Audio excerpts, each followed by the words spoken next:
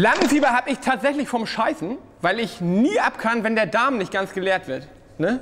Das ist zentral beim Scheißen ist immer, macht den Darm leer. Da habe ich Angst, da bin ich nervös davor.